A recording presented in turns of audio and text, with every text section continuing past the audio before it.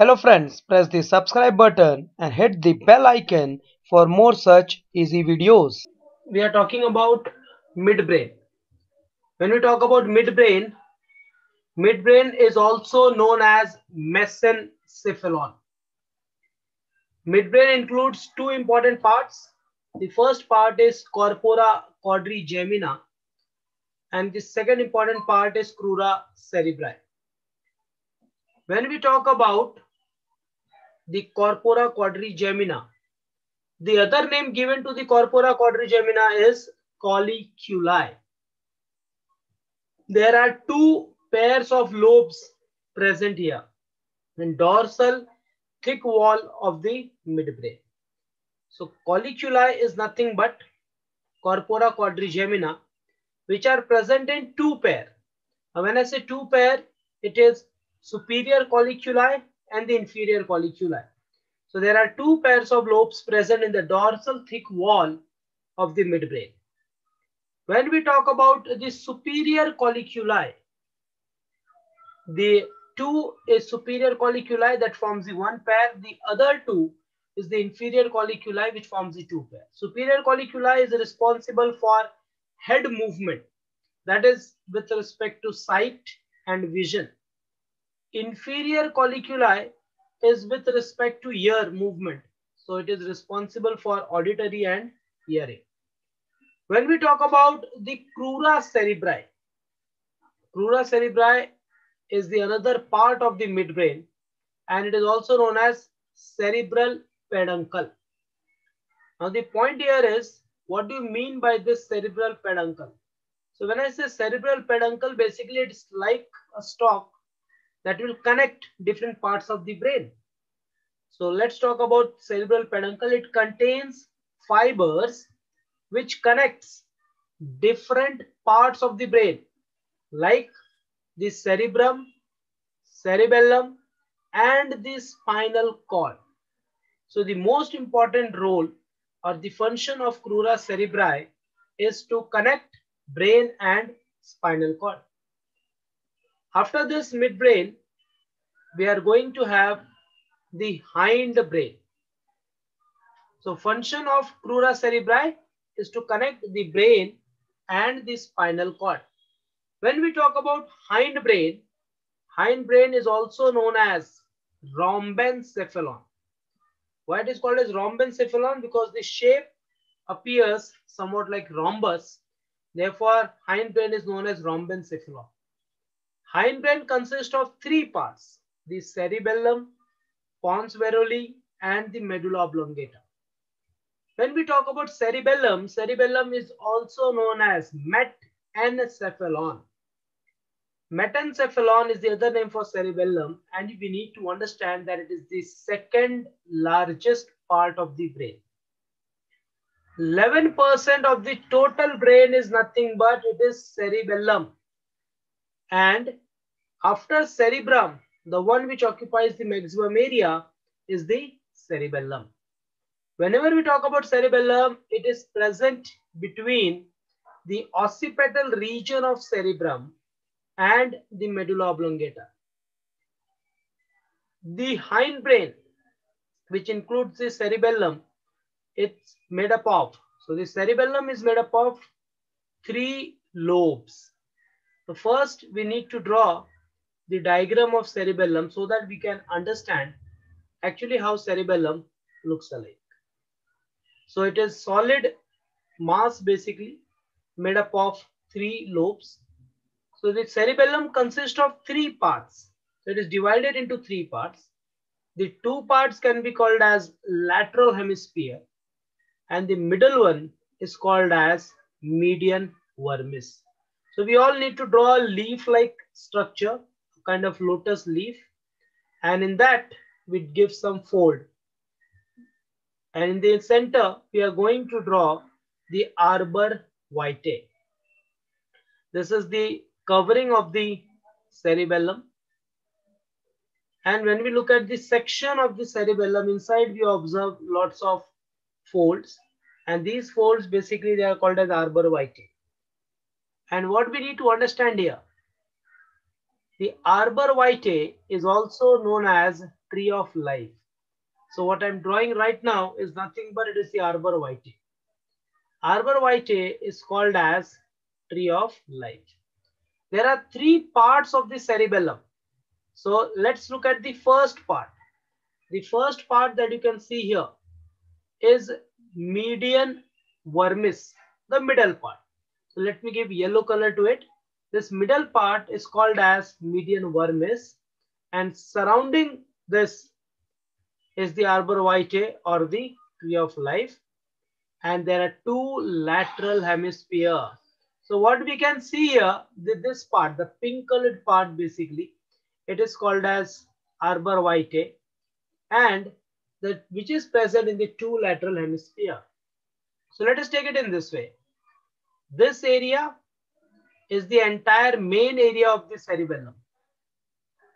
And when we do the labeling of this, what we are going to say, the middle part becomes the median vermis. So as far as cerebellum structure is concerned, remember cerebellum consists of mainly three lobes. The middle one is called as median vermis. Surrounding the median vermis, there will be two lateral lobes. And these two lateral lobes, they are occupied by arbor vitae. The arbor vitae is known as the tree of life. When you look at the region of cerebellum, again it has two regions, the outer region and the inner region. The outer region is called as the cortex and the inner region is called as medulla. So when you look at the cross section of the cerebellum, the outer region is the cortex and inner region is the medulla. The inner region is made up of white matter whereas the outer region is made up of gray matter. So I can say that inner region is medulla, which is white region or white matter, and the outer region basically is the cortex, which is a gray matter. Now, whenever we talk about the functions of cerebellum, so remember, cerebellum is the most important part of the brain because it is responsible for coordination your movement of the body when you walk, when you talk, when you ride a bike, when you ride a cycle, all the coordination is provided because of cerebellum. Cerebellum gives you primary balancing ability. If I am speaking, my tongue, my teeth, and my jaw, they are moving in coordination with each other. It is only because of cerebellum. An alcoholic person will not be able to talk fluently his voice will be totally distorted. Why? Because the cerebellum is not working at that time. Even the alcoholic person cannot walk properly. Why? Because the cerebellum is in the impact of alcohol. So the primary center for controlling equilibrium is the cerebellum. It is responsible for posture, balance and orientation. If you are able to stand straight, walk straight, it is only because of cerebellum. It is the center for neurotransmitter activities like walking, running, speaking, etc. And you will be shocked to know that cerebellum is the negative part of the brain. Cerebrum, I call it as positive part of the brain because anything that you do good, it's because of cerebrum. And the negative thing that you do, it's purely because of cerebellum. Now the point here is, what is positive and what is negative. When I see 100 rupees note on the ground, so I have two thoughts. Now one thought is I pick up that note and the second thought is I leave it there only. So picking up is in the control of, picking up is in the control of cerebellum. Leaving it as it is because it is not belonging to you, it is because of cerebrum. So cerebellum is the most important part of the brain. Let's talk about the next important part of the midbrain that is called as pons varolii. Pons varolii is also known as myelinencephalon. Why? Because it is going to form myelin. It will extend. Medulla oblongata extends at the as the spinal cord. So structure of pons varolii. First, let's look at the location. It is present below the cerebrum in front of cerebellum and above medulla oblongata. It has nerves basically. So whenever we talk about structure, it is with respect to position below the cerebrum, in front of cerebellum, and it is above the medulla oblongata, and it consists of nerves, which is going to bridge the cerebrum and the medulla oblongata. It means if your cerebrum and medulla oblongata is connected, it is purely because of the nerves that is present in the pons varolii. In case of region here, there will be two regions present, the outer region and the inner region. Outer region is composed of white matter, whereas the inner region is composed of gray matter. It is opposite of cerebrum in cerebrum, we studied that the outer region is a gray matter and inner region is a white matter.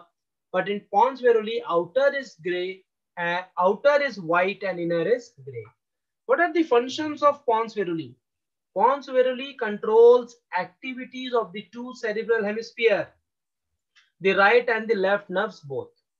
The most important part is it has the reflex for breathing. See, whenever we talk about breathing, we can control our breathing, but only for few seconds or a maximum one or two minutes. But this ability of controlling the breathing is in the control of Pons varolii. But after a certain point of time, the control of breathing shifts from Pons varolii to medulla oblongata. As a result, we cannot hold our breath for longer period of time. So this becomes the functions of Pons varolii. Now coming to the most important part of the hindbrain that is medulla oblongata. Medulla oblongata is also known as myelinencephalon. Now medulla oblongata with respect to location, it is present just below the pons varolii. And a very important statement that is you need to understand is a sudden injury to medulla oblongata can lead to death of the person so sudden injury to medulla oblongata leads to death. It means medulla is controlling some very important functions. If that function stop, you will die. When we talk about the roof of medulla oblongata, roof of medulla oblongata has posterior choroid plexus. And what you need to understand that this choroid plexus is responsible for production of CSF, that is cerebrospinal fluid. Medulla oblongata is the most important part of the hindbrain. So whenever you talk about functions of medulla oblongata, remember it controls all involuntary activity, heartbeat, respiration, digestion. It has the reflex for coughing, sneezing, swallowing, secretion of glands, vomiting, yawning, hiccuping, etc there are many activities that you do and it is not in your control. Like for example, coughing. When you are sneezing, it is not in your control. Swallowing of food is not in your control. Vomiting is not in your control. Even yawning and hiccups is not in your control. As a result, what happens? If they stop, it can lead to death. Even our respiratory system, circulatory system, digestive system, each and every involuntary and important functions, they are in the control of medulla oblongata. That's why we say a sudden injury to medulla oblongata can lead to the death of the person. Let's talk about ventricles now. Ventricles are nothing but the cavities present in different part of the brain. But before that, we need to understand how many, how many nerves arises from the medulla oblongata. So there are eight pairs of nerves that arise from the medulla oblongata. So cranial nerves, there are 12 pairs of cranial nerves. Out of those 12 pairs of cranial nerves, I can say that 8 pairs of cranial nerves arises from the medulla oblongata itself. When we talk about ventricles, what are ventricles? Ventricles are nothing but these are the cavities present in different part of the brain. Now the point comes here, how many ventricles we have? So as far as mammals are concerned, remember that mammals, they have four ventricles. So what are ventricles? Ventricles are nothing but the cavities that are present in different parts of the brain. Now the point here is how many ventricles are there? So the answer to this question is 4. So let's explore the ventricles in detail. Now what is the role of these ventricles? The ventricles they are going to supply nourishment, they are going to supply all the nutrients, even they are going to supply blood to different parts of the brain. These ventricles helps in connecting all different parts of the brain. So whenever it comes to ventricles, we need to understand here that ventricles, they play a very important role and it is present in forebrain, midbrain, and also it is present in the hindbrain. And each ventricle is going to have certain role. So as far as ventricles are concerned, remember ventricles are nothing but these are the cavities present in different part of the brain. How many ventricles are there? So we say there are four ventricles. First and second ventricles, they are parallel to each other. And these first and second ventricles, they are also called as lateral ventricle. So let's draw the diagram of ventricles. So this first and second ventricle together. Then there is a duct that will connect to the third ventricle. Again, there is a duct and this duct is going to connect to the fourth ventricle. So this is how basically ventricles are connected. So let's understand ventricle 1, 2, 3 and 4. So what I can say that first and second ventricle will together open in the third ventricle. The third ventricle will open in the fourth ventricle. So these ventricles are of four types. The upper one, the first and the second ventricle that you can see, it is called as lateral ventricle. These lateral ventricles, they are also called as paracele. And where they are present, they are present in the cavity of cerebral hemisphere. The two cerebral hemisphere, the right and the left cerebral hemisphere, they have a cavity. So in the cavity of the cerebral hemisphere, you will get lateral ventricle.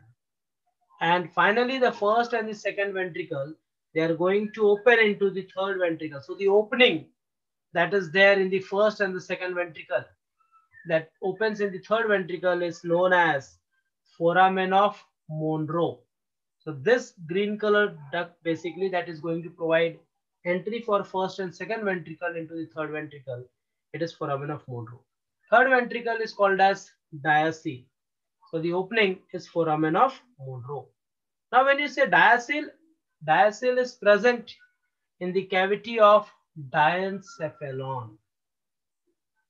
What we need to understand next, the third ventricle that was there as a diaceal present in the cavity of diencephalon is going to open through a duct in the fourth ventricle. And when it opens into the fourth ventricle, it is through iter or even it is also known as aqueduct of Sylvius. The fourth ventricle is called as metacele. And this metacele basically is present in the cavity of medulla oblongata. Medulla oblongata, the one which controls all the involuntary functions. So remember, this is metacele and it is present in the cavity of medulla oblongata and the duct through which the third ventricle opens into the fourth ventricle is known as iter or even it is called as aqueduct of Sylvius. So these are nothing but different openings that you see in the brain which are known as ventricles. They are meant for supplying the nutrients, gases to the brain at the same time collect all the waste from the brain. So this is all what you should know about ventricles.